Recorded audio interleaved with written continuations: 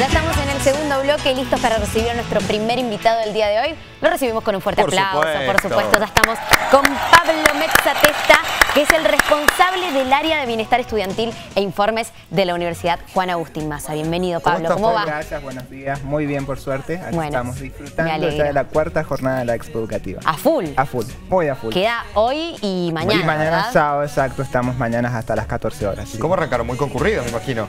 Verdaderamente ha ido creciendo. Del día martes, miércoles, jueves y hoy viernes, explotado. Podríamos decir muy bien y muy contentos porque los chicos están participativos, nos están visitando en el stand. Bueno, estamos disfrutando una muy buena Expo Educativa. ¿Y este año dónde se está llevando a cabo? En la nave cultural Ah, estamos desde el día martes 28 hasta el sábado 2. Perfecto. Y allí para el que nunca ha ido a una expo, no sabe bien de qué se trata, cada universidad con sus diferentes facultades tienen como su stand donde van a recibir información y demás, ¿es así? Exactamente, es Bien. el momento de sacarse las dudas a ver qué vamos a elegir, qué carrera vamos a visionar para nuestro futuro. Así que estamos muy contentos, nuestro stand verdaderamente lo hemos hecho muy amigable, hay Ujú. living, hay plantitas, muchas luces. En cada living, por suerte, hemos logrado que los chicos se sienten, charlen, se saquen las dudas, ¿Y todas con sus quiénes ansiedades. charlan, por ejemplo? ¿Con quiénes van a interactuar ahí? Tenemos eh, equipos de informadores que son chicos que están estudiando actualmente las carreras. Oh, está buenísimo. Eso está bueno, de, estudiante a estudiante excelente. me parece que es, es riquísimo lo Charla que se puede pares. hablar. Es charla de pares. Sí. También hacemos actividades, por ejemplo, montamos ayer un estudio, a ustedes que les gusta la comunicación, hicimos Uh, una grabación mismo. en vivo, tal Eh, qué cual. copado. Qué divertido. Se armó toda una experiencia ahí con cine excelente y los chicos de periodismo y locución. ¿Se Bueno, animaban a pasar los chicos? Algunos se animaban, otros estaban más tímidos. Bien. Hay un poco de vergüenza. al principio, cuesta, las cuesta. cámaras, las cámaras asustan todavía. Sin o duda. estuvimos haciendo actividades, por ejemplo, antes de ayer con microscopios, ver parásitos, ver células. Los chicos están muy alucinados con lo vivencial, así que estamos felices Es un con plus. eso. Aparte, lindo. recién Clarita anunciaba, tienen 40 carreras. Es muy amplio Es lo que ofrece la. Universidad Massa. 40 carreras de varias ramas, deporte, salud. Bueno, si me pongo a nombrar, creo que vamos a estar hasta las Ha- 3 de la tarde. Pantallazo general. Pero pantallazo general, todas las carreras de deporte, educación física, las de salud, farmacia bioquímica, veterinaria, kinesiología, podología, Ah. todo tenemos absolutamente de salud. Sino las de sociales que les gustan a ustedes de comunicación, Ahí periodismo, nosotros, locución. claro. Ahí los tenemos. Ahí Los locutores. Los recordamos. bueno, toda la parte de contador, eh, todo lo que es recursos humanos, dirección de empresa y las ingenierías. Hay chicos que todavía estudian carreras de 5 años, les quiero decir, ingeniería en agrimensura, Sí. bueno. Eh, o si no, tenemos todas las partes de, de enología, sommelier, que está muy en boga lo que es No, eh, caminos del vino, sí, del vino. Muy variado, me encanta. Estamos Viste que, en la expo, bueno, todos pasamos por ese momento, ¿no? Y, y muchas veces el colegio hacía la invitación y, y organizaban la salida a la expo educativa. Tenías por un lado los que estaban muy dubitativos. Por otro lado, los que iban con 40 folletos en la mano porque Ah, Claro. todas las carreras les habían Todos los gustado. personajes tenían. Es muy lindo lo que se genera. Es muy lindo y este año hemos logrado lo que es eh, papel cero. Entonces estamos Ah, trabajando con.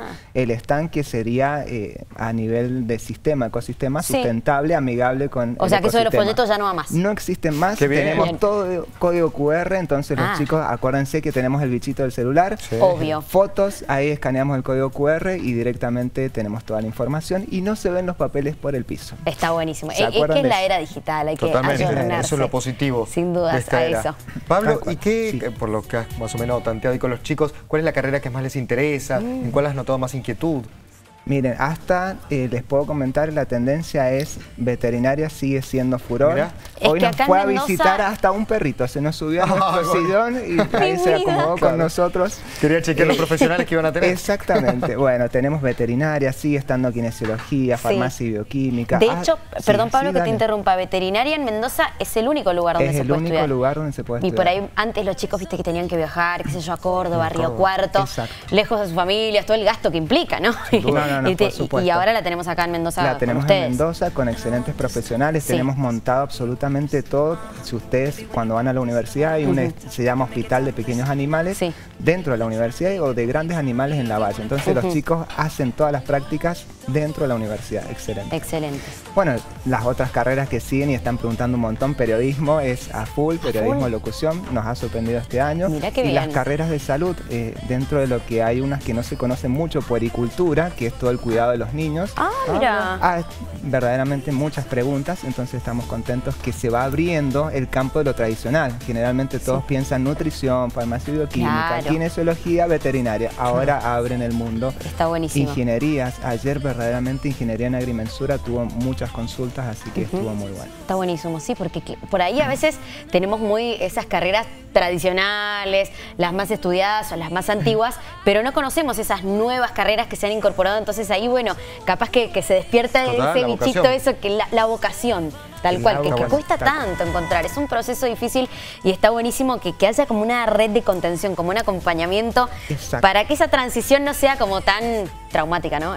sí, esa es la palabra, correcta, traumática. Sí, sí. Bueno, y con las intervenciones que hacemos, por ejemplo, los chicos de musicoterapia, es otra carrera que también está en auge. Me encanta, qué linda. Al hacer la intervención, están haciendo una intervención musical, ahí les dicen, ah, esto no lo sabía que existía como carrera. Y ahí van y preguntan. Bueno, es la idea, hacer vivencial fuera del papel y que puedan experimentar un ratito en la expo Perfecto.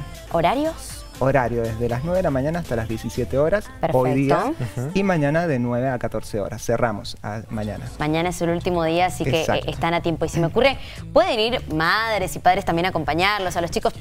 los pibes tienen 17 años, pero siguen siendo, siguen siendo niños de Está bueno tener ahí el acompañamiento de los padres, la visión. Acompañar, que la familia también se involucre, porque es un proceso de todos, ¿no? No sé si se acuerdan que también iban los profetutores. Estamos teniendo ah. muchos profetutores ah, del colegio y los padres que ahí siempre a sus piojitos para tomar la decisión. De todas maneras, si mañana cierra la parte presencial, pero esta expo educativa tiene la bimodalidad. Sigue estando la página de expoeducativa.mendoza.edu.ar, donde pueden ver la oferta educativa todo el año. Ah, Así que verdaderamente es una herramienta para utilizar y ver. Espectacular. Ahí estamos viendo las redes sociales eh, de la Universidad Massa, los encuentran como arroba somos Massa, ellos también a lo largo de todo el ciclo lectivo van comunicando diferentes actividades, información sobre las carreras, sobre los profesionales que se van recibiendo también, así que es muy bonito para ir ya em, adecuándose ¿no? a lo que es el mundo universitario, ir buscando toda la información allí en la página. Bueno, la invitación está hecha, chicos. Es una gran herramienta la Expo Educativa, así que a no dejarla pasar. Los que tengan dudas, los que estén allí a punto de definir su futuro, que no es poca cosa, es algo muy difícil, tienen, tienen este espacio que, que está muy bueno y allí los van a estar esperando en los livings de la Universidad Juan Agustín Más.